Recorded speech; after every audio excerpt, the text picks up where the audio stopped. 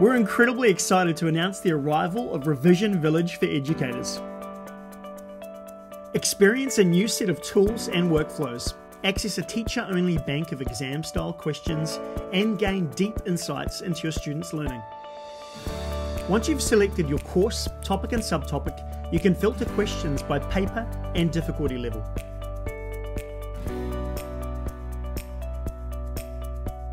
Using the workflow controls, select variables such as nominating automarking and allow students to receive personalised feedback.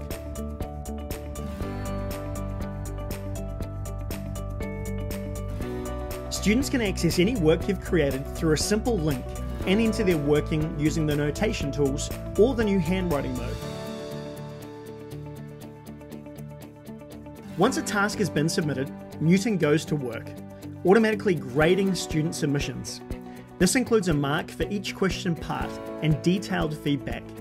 And of course, you have full autonomy to modify the grading and feedback before students receive their work.